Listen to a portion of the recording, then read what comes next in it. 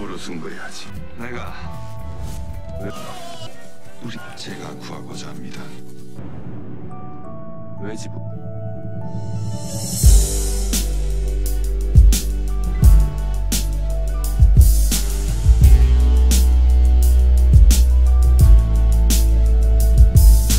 Halo guys, annyeonghaseyo 여러분. Di video kali ini Repsuto akan memberikan informasi mengenai drama Korea terbaru yaitu Chosun Attorney bergenre historical law romance drama yang akan ditayangkan di MBC mulai tanggal 31 Maret 2023 sebanyak 16 episode.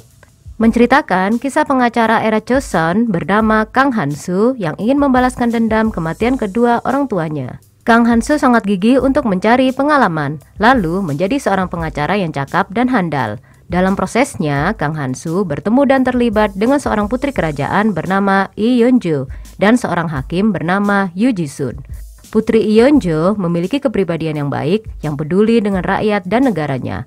Lalu, Yu Ji-sun adalah seorang hakim yang jujur dan selalu berusaha memberikan keputusan yang adil. Karakter yang pertama adalah Woo Do Hwan. Hwan akan berperan sebagai Kang Hansu. Kang Hansu adalah kakaknya Kang Ensu putranya mendiang Kang Anjik dan Lady Lee. Kang Hansu, seorang pengacara pembuat onar yang menyebabkan tuntutan hukum. Kang Hansu menjadi pengacara untuk membalas dendam karena kematian kedua orang tuanya. Karakter yang kedua adalah Bona. Bona akan berperan sebagai putri Iyonju. Putri Iyonju adalah sepupunya Raja Ihyul, putri mendiang raja. Putri Iyonju menjadi pendukung Kang Hansu dengan menyembunyikan identitasnya. Karakter yang ketiga adalah Cha Hakyeon. Cha Hakyeon akan berperan sebagai Yoo Ji-sun. Wali kota Seoul Ha Sung-bu, putranya Yoo Ji-si, dan tunangannya putri Yeonju. Karakter yang keempat adalah Song Gun-hee. Song Gun-hee akan berperan sebagai Raja Ihyol. Raja Ihyol adalah sepupunya putri Yeonju, seorang raja Joseon yang bercita-cita memperkuat otoritas kerajaannya dan mendirikan negara hukum. Karakter yang kelima adalah Kim Airan. Kim Airan akan berperan sebagai Ibu Suri, neneknya Raja Ehyul. Karakter yang keenam adalah Han Sang-ju. Han Sang-ju akan berperan sebagai Kasim-gu, tangan kanan Raja Ihyul. Karakter yang ketujuh adalah Chen Ho Jin. Chen Ho Jin akan berperan sebagai Yu Jise. Yu Jise adalah ayahnya Yu Ji-sun. Yu Jise perwakilan Ujung Bu Karakter yang kedelapan adalah Che Musung. Che Musung akan berperan sebagai Che Young-woo, seorang pejabat sipil Ui Jung-bu, klan Hunggu. Karakter yang kesembilan adalah Lee Jae-won. Lee Jae-won akan berperan sebagai Won seorang pejabat sipil Ujungbu, klan Hunggu. Karakter yang ke-10 adalah Che Byung-mu. Che Byung-mu akan berperan sebagai Perdana Menteri Im Sang-hu, seorang pejabat pemerintah milik Yu Jung-bu selama dinasti Joseon kelas 1.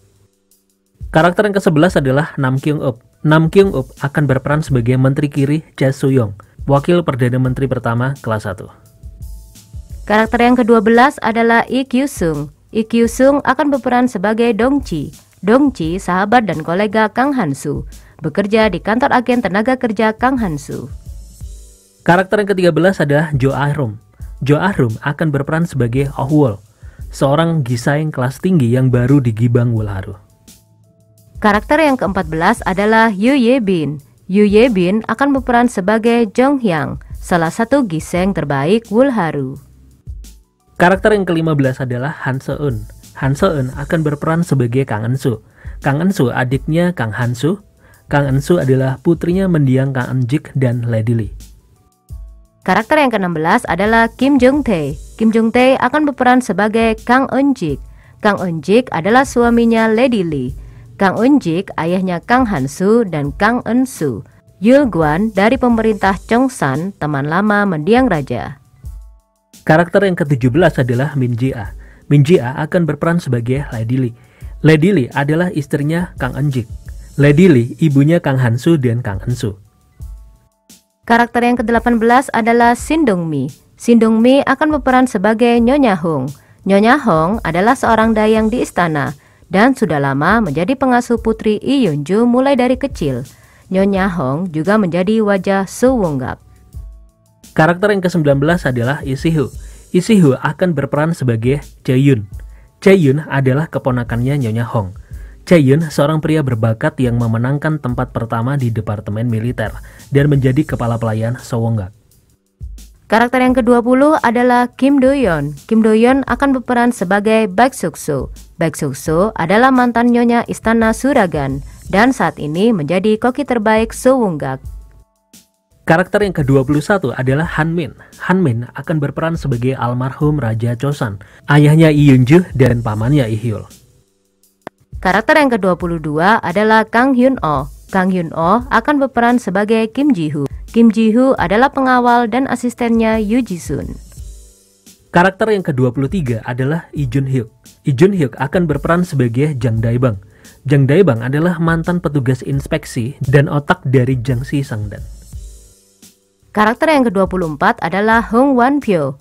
Hong Wan Pyo akan berperan sebagai Jo Chul Jo, penjaga Jiangxi Sangdan. Karakter yang ke-25 adalah Lee Chan Jong. Lee Chan Jong akan berperan sebagai Chung Sal, anak buahnya Jang Dae-bang. Dan yang menjadi sutradara drama Korea Chosen Attorney ada dua. Yang pertama adalah Kim Sung Ho, yang sebelumnya pernah menjadi sutradara drama Korea 2521 Kemudian sutradara yang kedua adalah Lee Han Jun yang sebelumnya pernah menjadi sutradara drama Korea The Golden Spoon. Sedangkan yang menjadi penulis naskah drama Korea Chesan Attorney ada dua. Yang pertama adalah Cho Jin Yong yang sebelumnya pernah menjadi penulis naskah drama Korea Queen for Seven Days. Dan penulis naskah yang kedua adalah Jung Horak. Oke guys, kalau kalian menyukai pembahasan drama dari Suto Mix Random, jangan lupa untuk subscribe karena subscribe itu gratis. Like dan dukung terus channel Suto Mix Random. Kita akan selalu memberikan informasi drama Asia terbaru dan mengelompokkan drama yang masih asik untuk ditonton untuk menemanimu saat ada di rumah guys. Guys, jangan ke mana-mana dulu karena di akhir video seperti biasa kita akan memberikan informasi beberapa drama Korea milik para karakter utama di dalam drama ini. Sampai jumpa di video selanjutnya ya. Bye-bye.